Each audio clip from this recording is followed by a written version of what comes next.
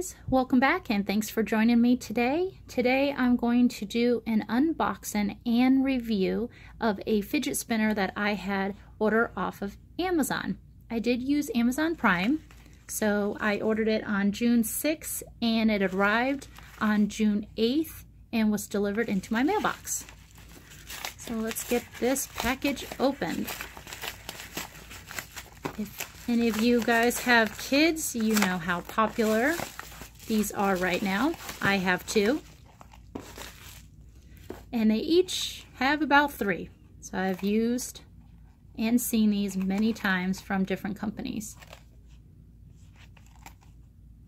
Nice little case. Oh, there we go, a little stuck there.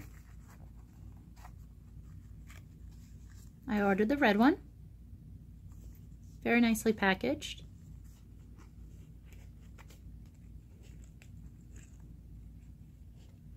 See if I can get it out of here first. All right. Make that a little bit easier.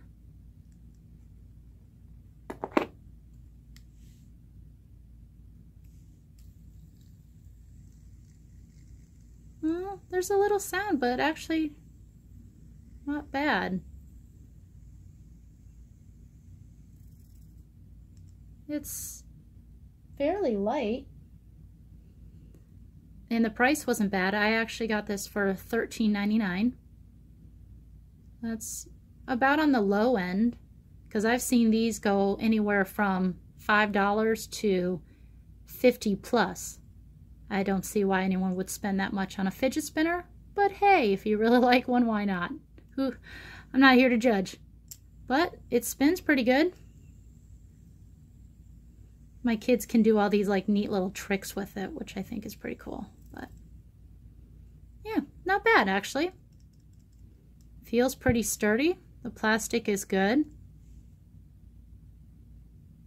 It's clean. I've actually ordered some of these offline and they've come in dirty, so that's a plus. But overall, not bad. It's not loud. The weight is good. My kids will enjoy this one. All right. Well, I hope you guys like the, the video. And if you did, I hope you press that like button below. And I hope you guys have a great day.